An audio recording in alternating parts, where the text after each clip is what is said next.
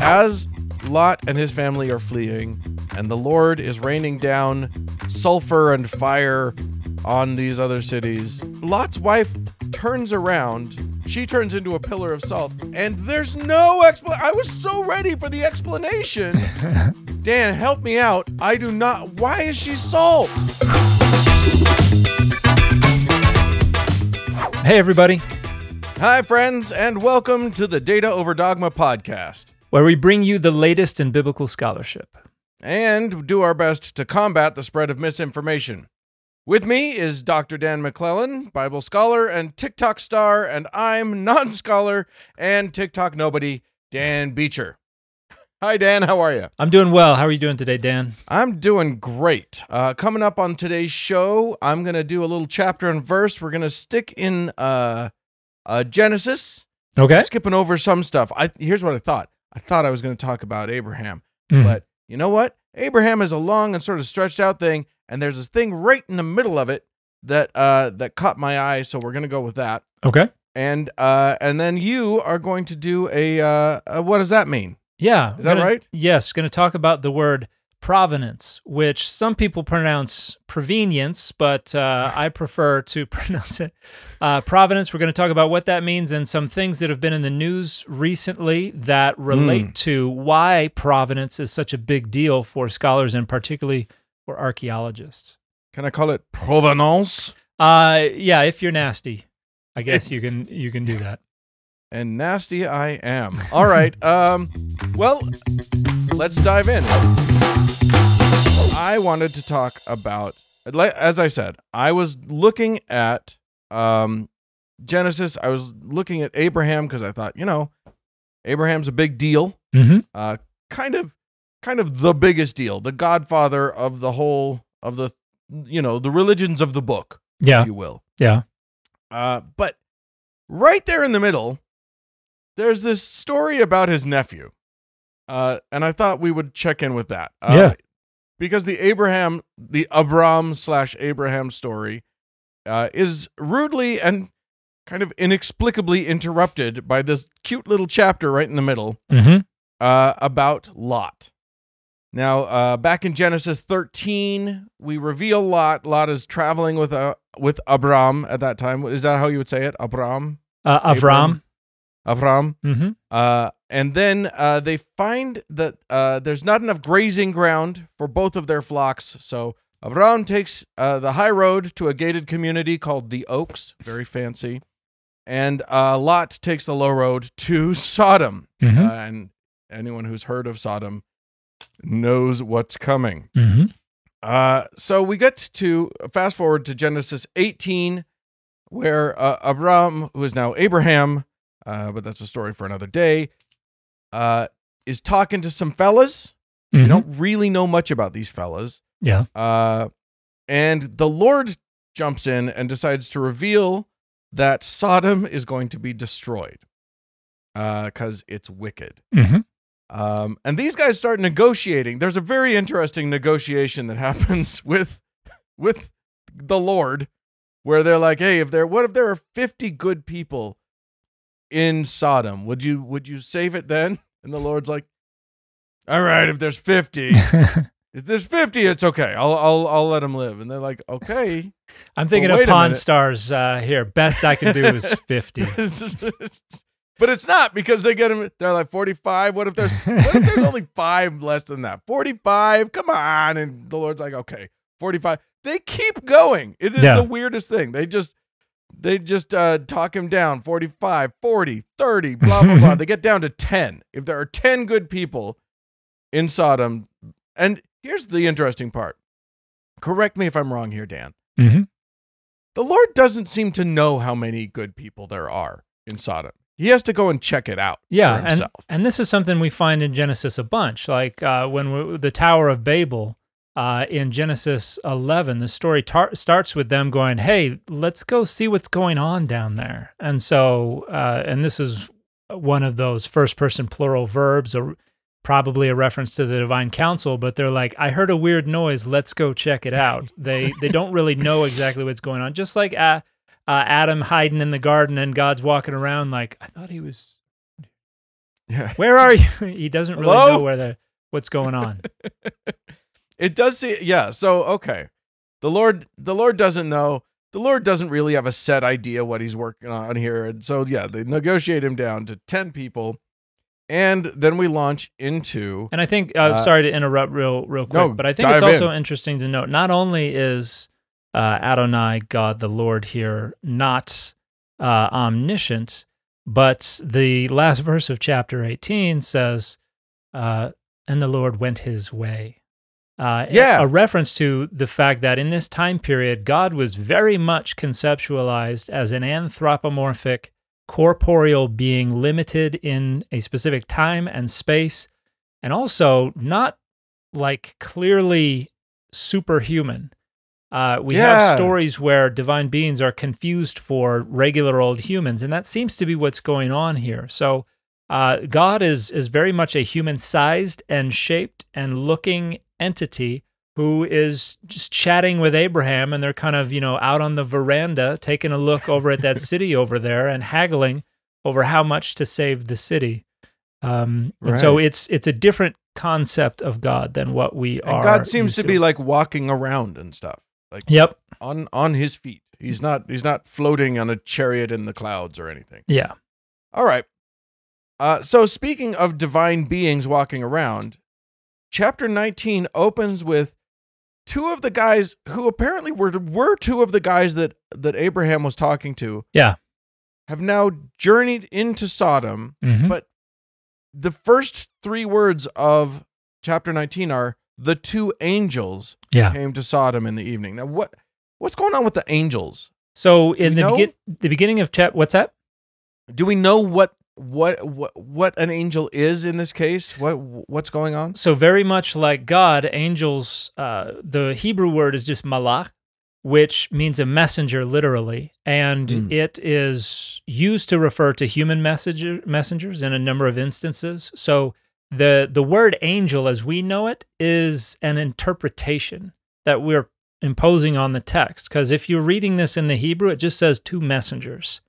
Oh And- weird. and you know we have in in the books of samuel you have and david sent messengers. And it's the exact same word in hebrew. And so the idea of a divine messenger is an interpretive lens that we're putting on the text. But there's enough there are enough stories within the hebrew bible where it's very clearly a divine messenger and not a human messenger that we've we're kind of comfortable with this notion that angel is an appropriate way to refer to these entities. But the very uh, second verse of verse 18 so it starts off the lord appeared to abraham by the oaks of mamre as he sat at the entrance of his tent. Verse 2 starts off he looks up and he saw three men. And so here and in a number of other places both god and these angels are referred to as an ish as a man um, huh and there's a wonderful book on this uh, by Esther Hamori called "When Gods Were Men," and it's a it's an academic discussion of what she labels the Ish theophany, or a a story about God appearing to someone and this the narrator explicitly referring to God as an Ish, as a man. Well you know some people think of him as a man some people don't. To each their own is what i'd like to Oh, that was that was very cheap. There you go. Hey man low hanging fruit is still fruit. Uh, all right.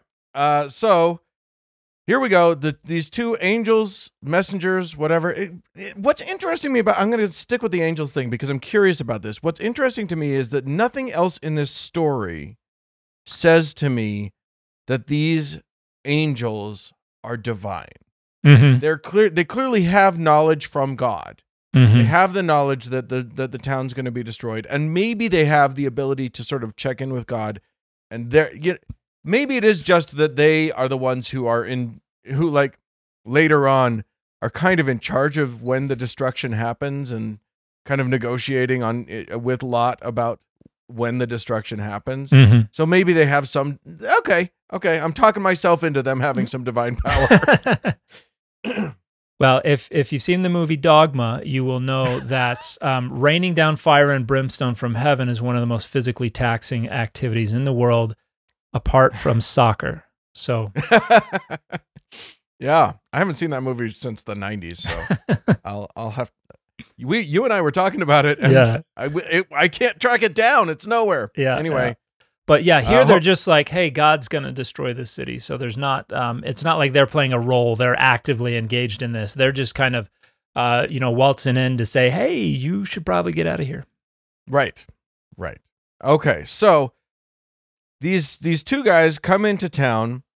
Uh, immediately, they encounter Lot, who jumps up and says, "Hey, come and stay at my house." And they're like, "No, no, we're gonna sleep in the square."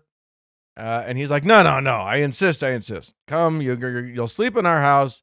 You'll wake up early in the morning and you'll get Mhm. out, which is what I always want to tell my guests. You'll get up very early and leave. yes. You're very welcome until tomorrow." Uh, anyway, uh, so he uh, he brings I'll, them I'll, into the I'll house. interrupt you real quick to just suggest that this is kind of the rhetorical point of the story is that unlike the people of Sodom, and previously when it referenced Lot uh, pitching his tent towards Sodom or alongside Sodom, it talked about Sodom being wicked. And Mm. so, uh, and and part of this may play on kind of a uh, uh, a contrast between agrarian living folks and city dwellers. There's a part of it that may be suggesting city dwellers are problematic and, you know, uh, that farm living is for me kind of perspective where we prefer folks who live off the land who live in tents rather than folks who live in cities. And and that may be part of the message is that Sodom is bad because it's this uh, city that's filled with all these city dwellers and uh, you know they have a apartments in these high rises and you don't get a yard or anything and they just don't like cities. And so part of what is going on here is they're representing lot as being very hospitable. And this is something that was uh, a an ideal in this time period is hospitality to strangers.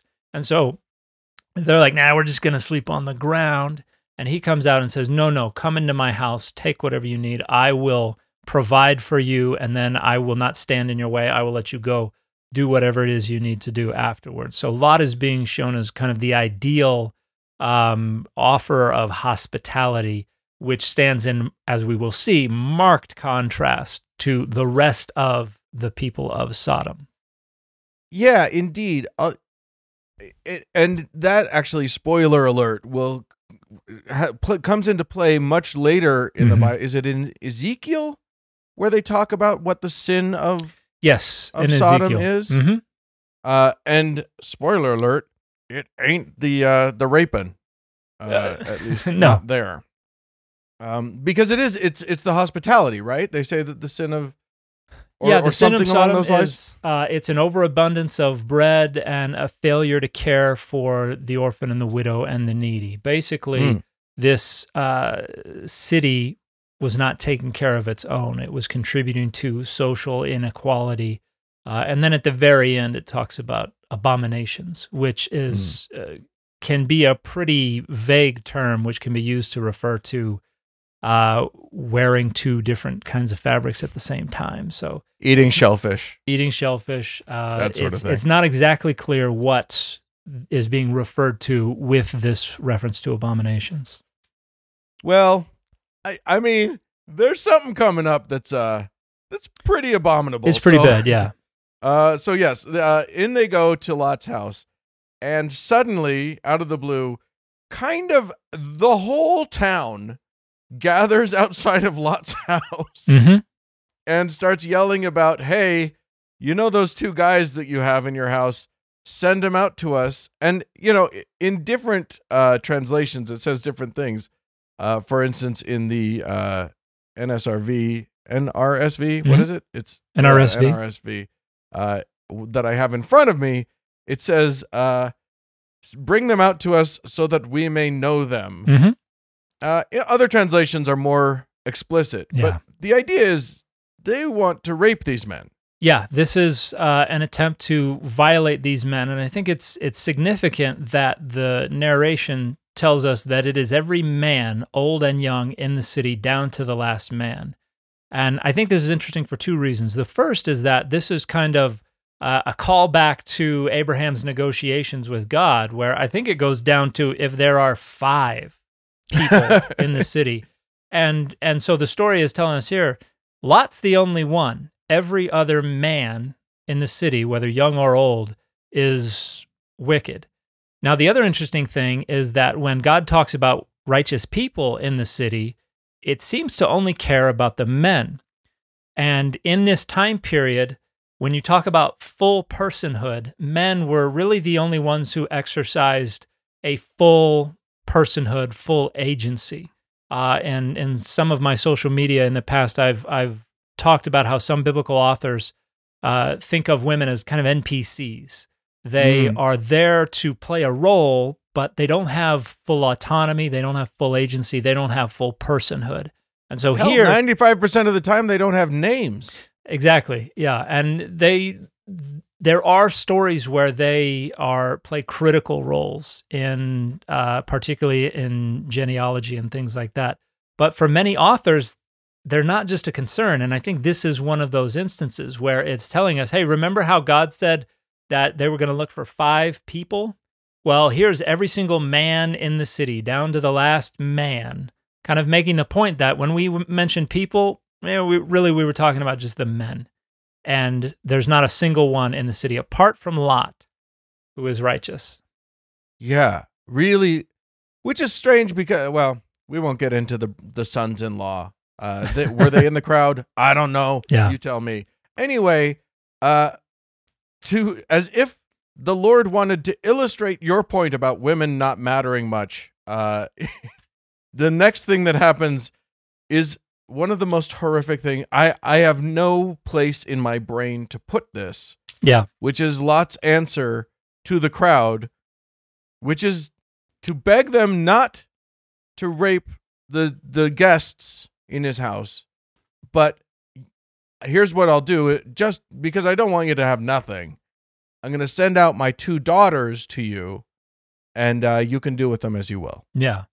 And this is and this is a way to again kind of hold up Lot as the ideal um, patron, the ideal uh, offer of hospitality, because it it is hyperbolic, it is rhetorical, but it's saying Lot cares so much about the safety of anyone he brings in under his roof that he's willing to sacrifice his two daughters uh, in order to protect them. And and this is not just in addition to being a uh, a denigration, a a um, subjugation of their personhood, their autonomy, their agency. It's also uh, again showing Lot as willing to give up something because having two daughters is um, means you have some money headed your way because you're going to basically sell them off when they get married. There's a bride price that's going to come to you, uh, and this is if they have been violated, if uh, they're no longer uh, from the perspective of these authors, if they're no longer uh, potential wives, if they're not wife material, then Lot is also sacrificing that future income. So, in a few different ways, it's presenting Lot as willing to sacrifice his own resources, his own goods, uh, members of his own family in order to protect these house guests. And now, this story has a parallel. This is not the only place in the Bible where we hear almost the exact same story. Judges 19 tells almost the exact same story. And this is with uh, a, a gentleman, an Israelite who is traveling with his concubine. Uh, and very similar situation. He's in uh, a town. It's supposed to be a, a town that uh, is full of Israelites. He chooses not to stop at the closer town, but to go on to this other town where there are Israelites because he trusts his own people. He's within, you know, he's among his people. And uh, he stops in, and someone offers to to let him stay in his house, and it's the very same thing. This is a very hospitable uh, house owner, and the same thing happens. Men surround the house, and they say, "Send this dude out. We're going to violate him." And it's it's important to note here, as with uh, sexual assault today, it's not about sex, it's about power. It's a way to uh, exercise control over others, it's a way to make yourself feel more powerful. And here, it's a way to shame and denigrate and humiliate another male Israelite. And so some people think this is a uh, a judgment on a criticism on same-sex orientation or same-sex intercourse And it's really not. These men are playing a role where they are trying to humiliate someone from the outside who is staying the night, uh, trying to exercise power over them. And a very similar Okay. thing happens uh, where the man says, No, I'm not going to send out my house guest. I'm going to protect him. And the house guest says, Well, I'm just going to shove my concubine out the door. And the concubine, and you know, and we'll see what happens in the Genesis story, but in the Judges story, the concubine gets shoved outside and is violated all Wow. night long and then ends up dying from her injuries on the very doorstep. And in that story, the man comes out the next day and and it is a horrific story when you read it. The narrative is like he stepped outside and he was like, "Come on, get up, we got to go." And then realized she was dead and uh, in the story actually dismembers her, cuts her up into 12 pieces, sends right. one to each of the 12 tribes of Israel, basically to say, "Look what they did to my my concubine." The, you know, I was supposed to be in Israelite territory, but the the houses of Israel are just in disarray. So it's a shocking story. Um, it is parallel in many ways to what's going on in uh, Genesis 19. But I just wanted to make that point that this is this is not saying these guys really just wanted to have sexual intercourse with other men. That's not the point of the story in any way, shape, or form. It is the locals were trying to abuse and humiliate and shame someone from the outside.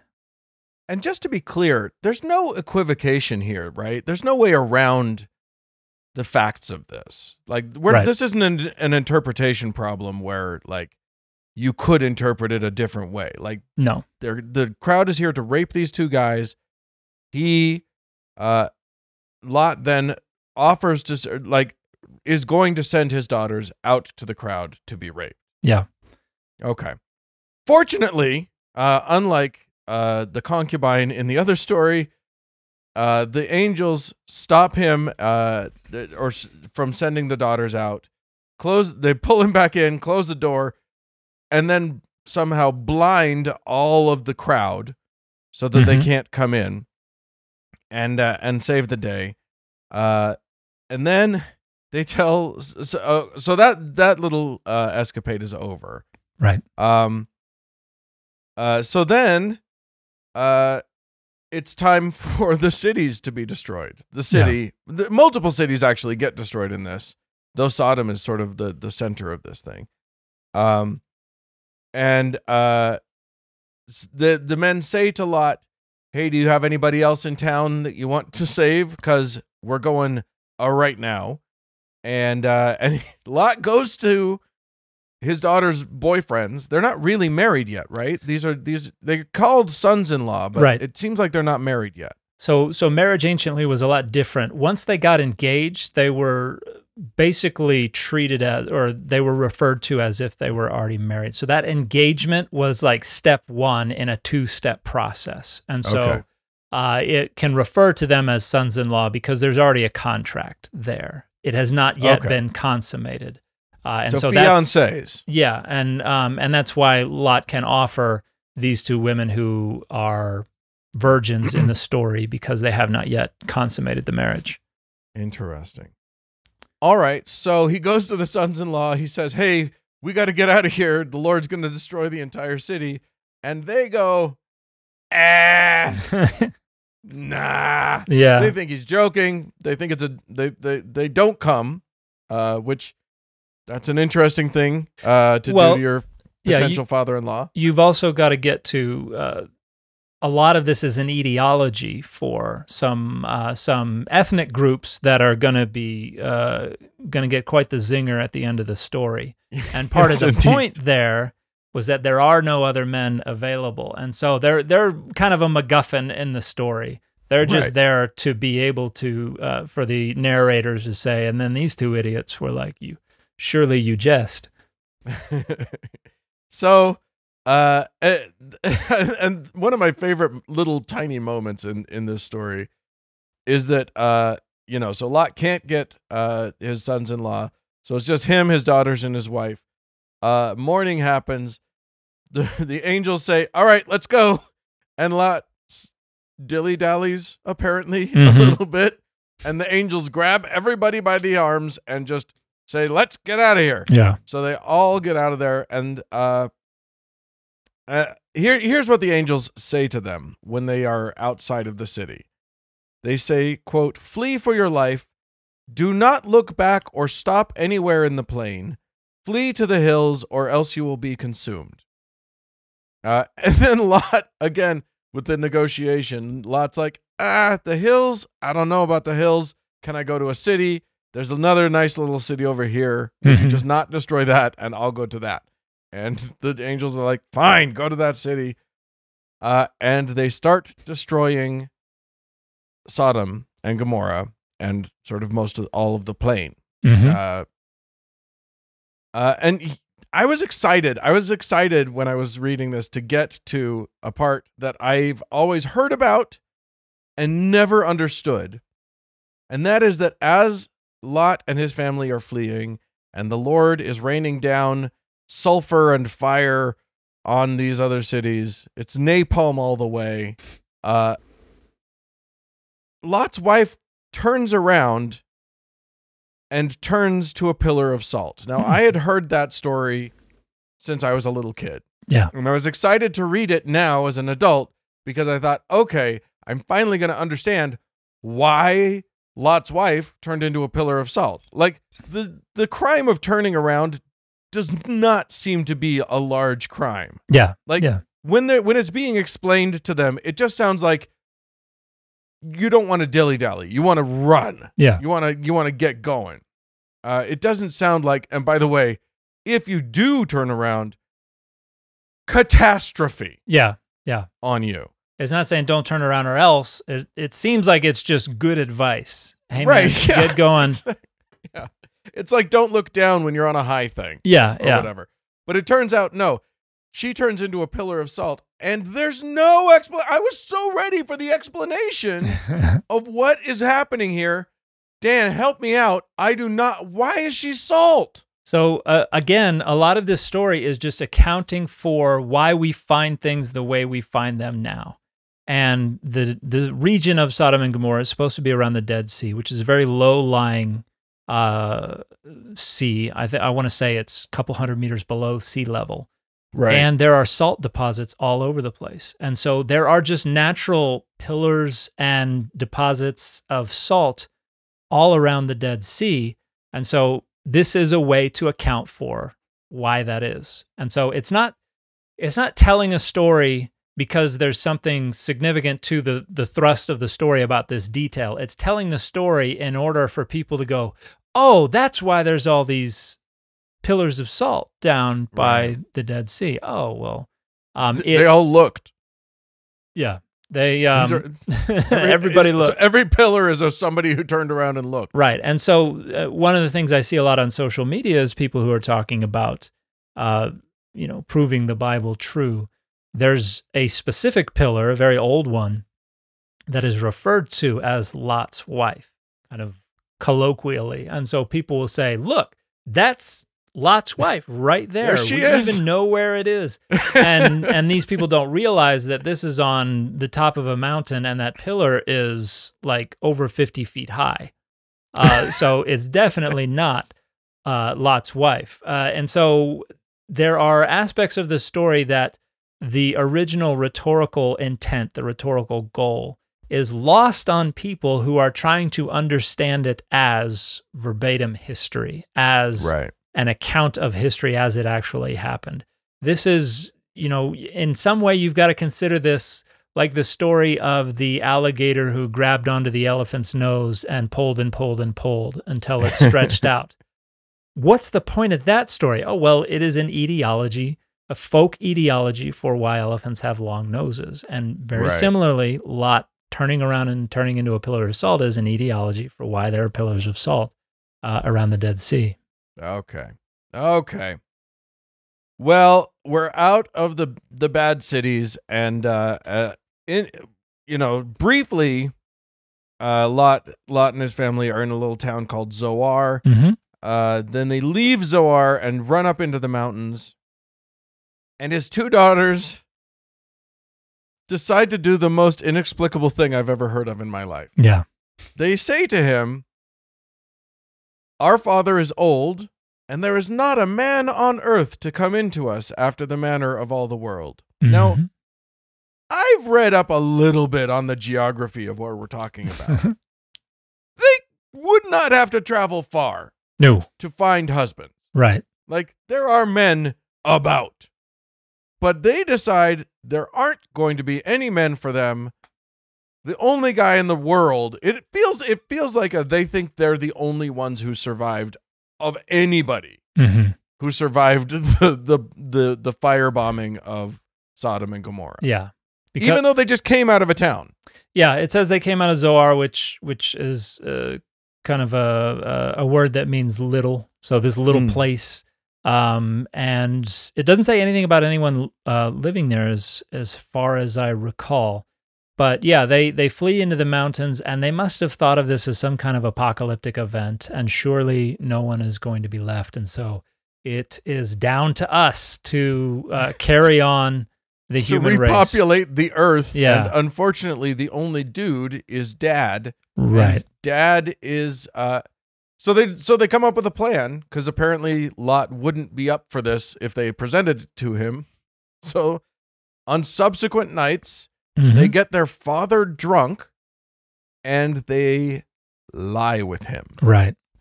So, And and both of them get pregnant. yep.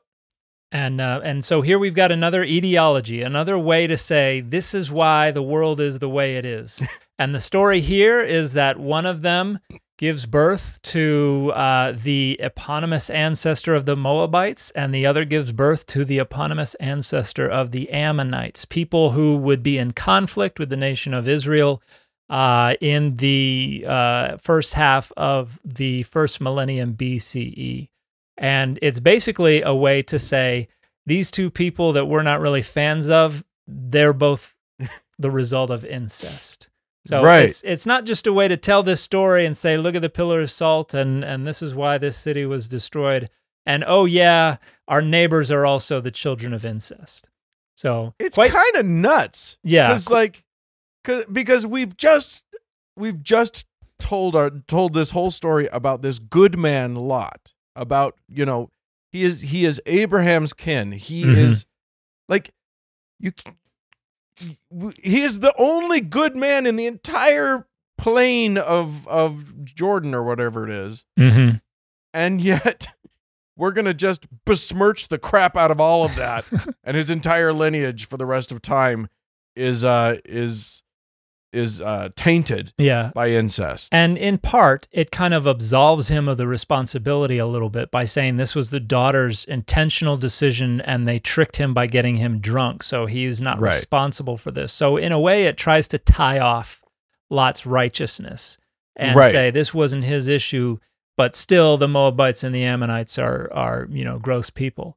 And and this is part of one of the main rhetorical thrusts of the book of Genesis is to create a single lineage for all the peoples on earth so that we can account for where everybody came from and it all goes back to a single individual. It, initially Adam and Eve and we're going to get uh, then Noah and the flood and then we're going to get all these peoples and and the peoples we like which are not really many people uh, except for Israel and um, and the people descended from Israel. But the people we don't like, everybody else, oh, we got some zingers in store for them. This is where they came from, um, and including um, you know Hagar, whose uh, son. Uh, this is uh, Genesis 16. Hagar gives birth to Ishmael. Ishmael is going to be the eponymous ancestor of the Ishmaelites, but but this is a an enslaved woman who only uh, was able to uh, have a child by Abraham because Sarah uh, was barren. And so right. these are ways to kind of rhetorically taint all these other folks around them that uh, they had different degrees of hatred for.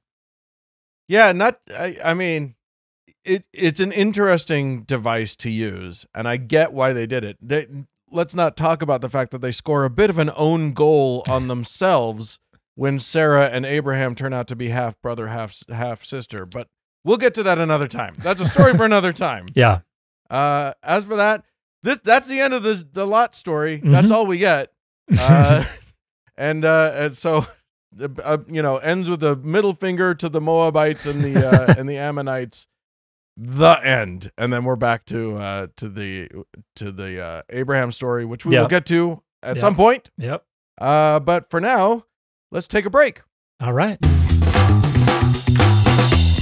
Welcome to this installation of What Does That Mean? The segment where we try to talk about some terms, some concepts, some frameworks from the worlds of uh, biblical studies, uh, study of religion, archaeology. And today I wanted to talk about a word uh, that I pronounce provenance, but that some people will pronounce provenience or something like that, particularly if they're of a European bent.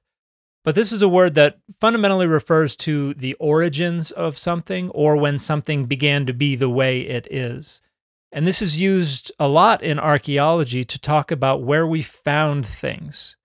And so in you will hear archaeologists distinguish provenanced artifacts from unprovenanced artifacts. And this is a big deal. An unprovenanced artifact is something that does not have a secure provenance. We don't know precisely where it was first discovered because at some point, everything that we find archaeologically was left somewhere. And then some point later, someone dug it up out of the ground, tripped over it, discovered it somehow. And that point of discovery is the provenance. Now, with unprovenanced artifacts, uh, a lot of them will turn up on the market. Somebody will be offered something for sale and they don't know exactly where it came from. And the big problem with this is without a good provenance, you don't know if it's a forgery or not. You don't know where it came from. You don't know when it came from. And so there's a limit to the utility, the usefulness of such artifacts for scholars. To Part of what we're talking about is kind of like like the legal concept of chain of custody. Mhm. where uh where like if we know whose hands a piece of evidence has been in and we can track we you know we can definitively track where it's come from and and how who's handled it and stuff Mhm. then uh, legally they then it has much more uh force Yeah. than if it just shows up somewhere Yeah. And and similarly in scholarship, something has much more force and more utility for the scholarly discussion.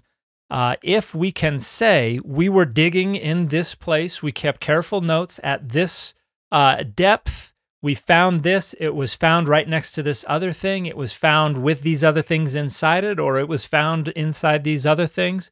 And that all helps us to provide context so that when we're trying to reconstruct the history of this artifact, if we can say this bowl had a bunch of uh, charred uh, seeds in it, and we can carbon uh, 14 test those seeds, and we can say they came from this time period, and this bowl came from a, a level, um, a stratum uh, that also had these other artifacts in it that we can also date to a given time period, then we can say this bowl almost certainly came from this time period, or at least it was deposited in this time period. It may have been made earlier, but when it had these burnt seeds put inside it, when it fell into disuse, when it was covered in dirt, this is when that happened. And that helps us because other scholars are going to look at it and say, what does this mean? What was this used for? What does this tell us about uh, the world in this time period? If we can say this came from this decade, maybe even this year, uh, then it is a lot more useful to us as scholars. But if somebody shows up, if you see on eBay, I don't even know if eBay is still a thing, but if you see on eBay somebody selling a bowl and they said, oh, this came from 5000 BC, you know, we have no idea if that's the case. And we can try to compare things. What kinds of designs are on it? How is it made? Uh, what, uh, you know, what shape is it in? we can try to fit it into things, but we may only be able to get within maybe 500 years. We may even not even be able to get into the right millennium. And so provenance is so important. And these days, there's an entire industry around creating fake artifacts. no Yeah, you don't say Believe it or not, there are people willing to create fake artifacts to make money. And some of them can make a lot of money. Uh, the Dead Sea Scrolls we know that the Dead Sea Scrolls that were initially purchased uh, way back in uh, 1947 and in the years following, we know that those are authentic. And then we had archaeologists who went out to Qumran and the surrounding area and dug and discovered a bunch more. We have the provenance for those things. The original ones were found on the market, so they were initially unprovenanced, but we were able to trace them back to the caves from which they came from and were pretty secure in that. But since 2002, there have been a handful of fragments of texts that uh, were associated with the Dead Sea Scrolls that were sold uh, at auctions or sold privately by uh, people who just showed up with these fragments and said, probably said, oh, yeah, they came from here. And that influenced the scholarship for many years. In fact, one mm. of them that hmm. I found fascinating was a fragment of De- Deuteronomy 27, which suggested so there are, um, we have the, uh, in Deuteronomy, the blessings and the curses, one from Mount Ebal um, and uh, the other from another mountain. But the Samaritans, the ancient Samaritans, claimed that it was Mount Gerizim that was where the um, one of these two things was uh, was pronounced from. And this fragment of Deuteronomy 27, where it should have said Ebal, it said Gerizim. And this oh, was wow. like, oh no, or oh yeah, it the Samaritans may have been right. And this excited a lot of people, and me included. I was like, this is this is fascinating. This is so cool. Fast forward almost 20 years, we had a lot of scholars who were starting to do research on these fragments and look closely at them who decided it seems like these are forgeries, that these aren't real. Uh, and a friend of mine was involved in that, Kip Davis, Dr. Kip Davis, uh, that I worked with uh, at Trinity Western University uh, 13 years ago, was uh, one of the scholars who did a lot of really great work looking at these things uh, under microscopes, looking at the ink, looking at the uh, the uh, it's not uh, the animal skins that were used, and concluding with a high degree of certainty that these were not produced anciently; these are forgeries. Interesting. And a lot of money changed hands uh, regarding those fragments. So, and and some of these are in the were in the hands, or probably still are in the hands of like the Museum of the Bible. But there were also some universities that got involved. Azusa Pacific, for instance, university purchased at least one of these fragments, and so it influenced the scholarship. It caused a lot of money to change hands. And it also brought prestige to a lot of these places that, you know, boasted of having fragments from the Dead Sea Scrolls. And it turns right. out they were fake.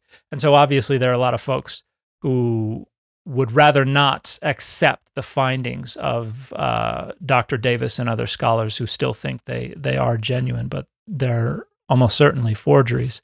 Well, especially when like you're when you know you've got some scholar whose work is dependent on these and really cool things, you know, and they've put in a lot of effort and they've put in a lot of time on this thing, to then have to turn around and say, "Oh, you know what? Just disregard yeah all of my books, all, all these my thesis, all yeah. this other stuff." That that's a painful, painful moment. Yeah, and you know we don't want anyone to have to go through that, and we don't want universities to be spending hundreds of thousand dollars of dollars. We don't want folks like the Museum of the Bible spending even more than that, um, trying to maybe even smuggle in some of these things from from other uh, countries. Yeah, they've been in some trouble. That Museum of the yeah. Bible. Those, those Greens made some sketchy purchases over the years.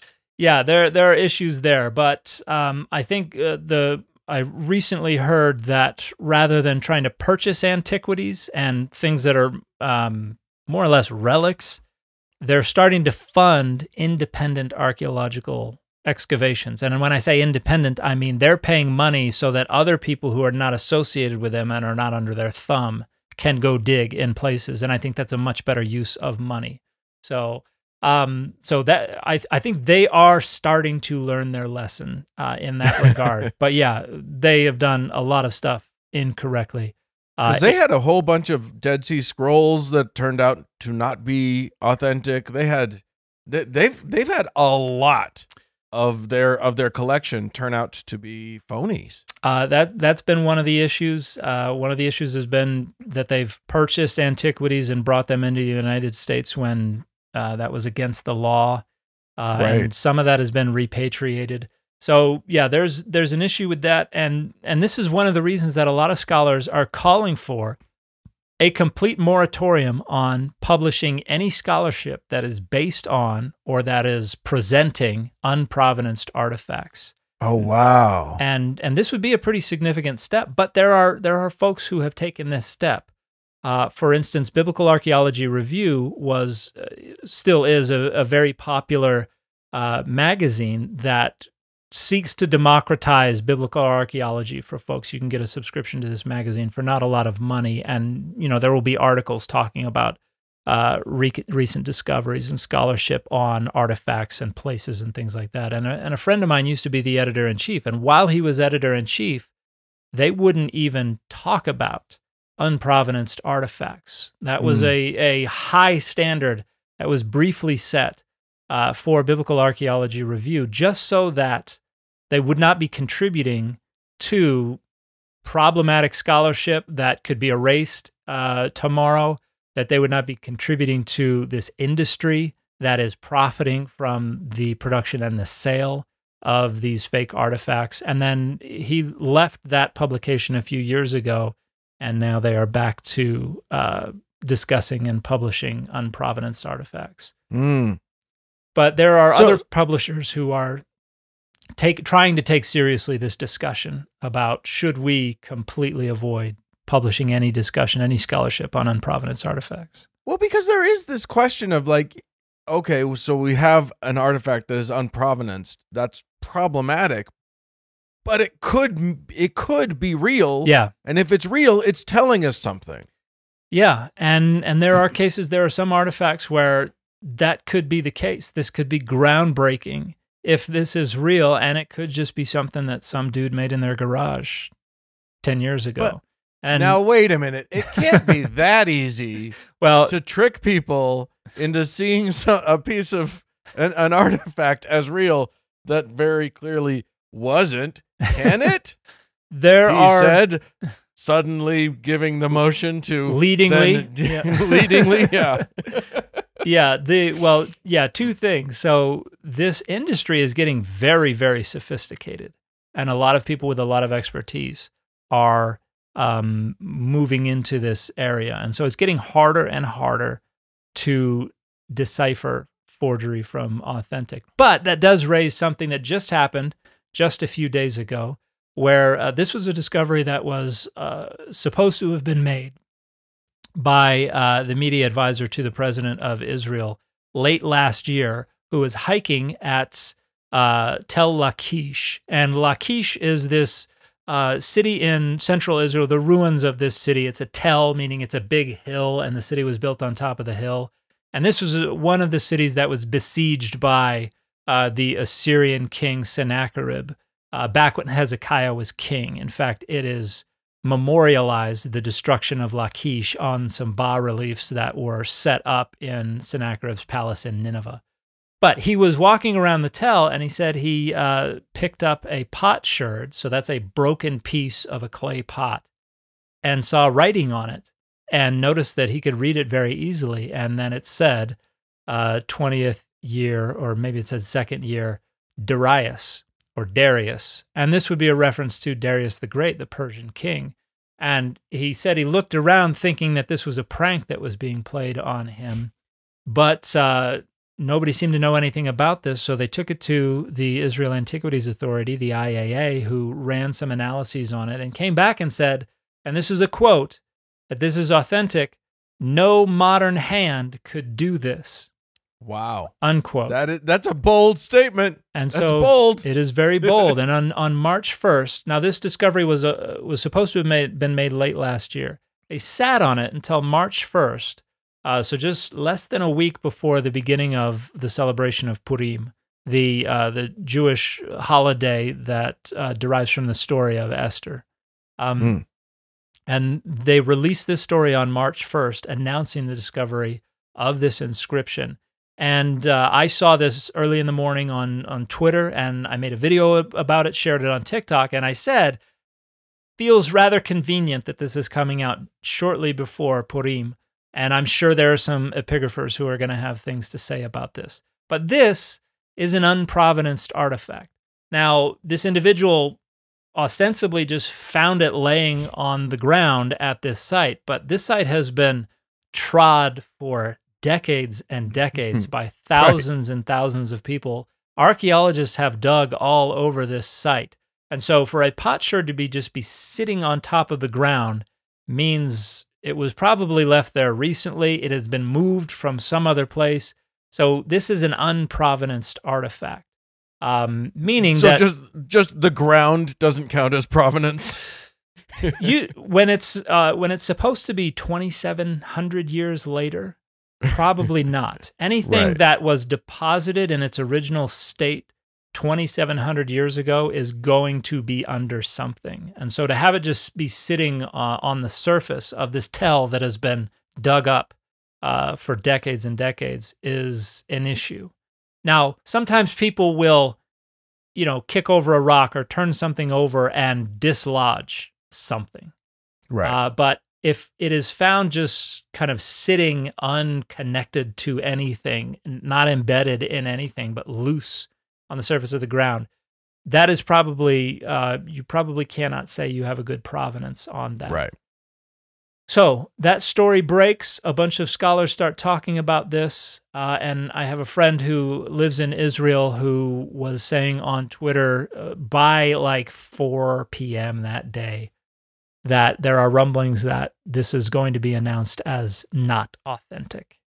And wow. um, it was just, if it was not the next day, it was the day after that the uh, Israel Antiquities Authority came out and said, turns out this is not authentic. Um, and, but how could they know? Well, they Sorry. knew because the person who uh, ostensibly made it caught in contact with them after the story broke. And the what they shared was that someone who was part of an excavation that was taking place at Lachish the previous August had taken that potsherd and inscribed it with that text as part of a demonstration to a class regarding inscription techniques, uh, which means this person is is uh, quite an expert in these kinds of inscriptions. If they could just offhandedly to demonstrate to a class how people inscribed pottery, created an inscription that the Israel Antiquities Authority said no modern hand could do. Um, so there are still question marks about this story. But the idea is basically that they created this inscription to demonstrate this technique to students. They left it at the site. A couple of months later, someone stumbled upon it on the ground. Uh, and so it so was was this sorry was this shard actually an ancient shard that he just had lying around that this person just had lying around and that they then inscribed? Uh, most likely that's what it sounds like. And and if interesting. you've been to Israel a lot of these sites do have a lot of uh, broken pottery just scattered around. Uh, want a shard? I can get you a shard. I, I, get you a shard by three o'clock. Um, and uh, there's a there's a, a, a site called uh, Azekah, which is near the valley of Elah, where um, David was supposed to have fought Goliath, mm. and it's just there are just shards strewn all over the place, and and okay. some of it is kind of like decoration, like somebody had a bunch of pots made and shattered them all and just kind of scattered things, and and some of it is you know it, it's part of the ambiance, and uh, and some of it is ancient pottery where this has already been uh, you know, we found a bunch of, of shattered pots. We got what we needed. We've done all the research. We've documented everything. So we're just going to scatter the stuff on the ground. Um, and so it's not unusual to find pot potsherds, but you can't really date a pot potsherd. You know, you can't carbon 14 date it. You, oh. if you don't find it in context, you either have to uh, date it based on uh, techniques that are used, images that are painted on it or inscribed in it or something like that. So just a random potsherd could be from a thousand years ago, could be from 3,000 years ago, could be from last week. Right. Uh, it is not easy to tell. I guess they're just made of dirt. So if it's dirt from the same place, uh, who knows when it was made? Yeah, and so that's a that's a difficult thing for the IAA, the Israel Antiquities Authority, to to acknowledge. They did the right thing, though. They uh, rather quickly came out with this press release saying, "Stop the presses. We made a mistake." And there is Wow. some some egg on their face, but at the same time, there are still some question marks to this story. But this is an illustration of one of the dangers of publishing, publicizing, publishing unprovenanced artifacts. As if this was just created by somebody illustrating this technique for their students. If they never found out about this story being released, or if they decided not to come forth, that artifact could be used in who knows how much research. Now, in this particular instance, the inscription second year or 20th year, whatever, of Darius, that doesn't really change much. We know Right. a, quite a bit about Darius. It would be the first direct attestation to Darius that is found in Israel. So, in that sense, it would be noteworthy, but it wouldn't really change any of the scholarship. But if they had said something that would be groundbreaking and then kept their mouth shut, that could, you know, there could be doctoral dissertations written about that, conferences held, books published, and all based on something that somebody may have just scribbled and um, kind of uh, absent-mindedly left behind, and that could change the shape of scholarship. And so, because of just how serious those things can be, I think we need to take the we need to take seriously the problem of unprovenanced artifacts, and people need to be aware of what artifacts that are being talked about in the public have provenance and which do not, because that those that do not uh, tend to generate uh, a lot of problems. I feel like the next thing you're going to tell me is like the Noah's Ark that they found in Turkey isn't legitimate. Well, that one's still in the ground, but um, but it's definitely not legitimate. oh, darn it. All right, Yeah, no, fine. that one's. We'll talk about what wishful thinking means uh, in another segment, but, uh, but yeah. Motivated reasoning. Yeah, Yeah, exactly. All right. Well, thank you, Dan. That's fascinating. Uh, another another word in our pocket as we journey forth in the scholarship. That's Yeah. useful. Uh, if you would like to contact us about that or anything that we've talked about on today's show, listener and viewer at home, you can write into us. Uh, the address is contact at dataoverdogmapod.com. Uh, and you can you can write to us there. Uh, find us on all of our social media, and uh, and if you are become a patron of our show, then we will not have to go forth and start forging uh, things for people to find, uh, just to support ourselves. So that's uh, Or that- will that's we? a good thing to do, or will we? Who knows? There's some question there. in this Uh, economy, can't rule it out. we can't rule it out. We can rule nothing out. Anyway, thanks for listening, everybody, and we'll talk to you again next week.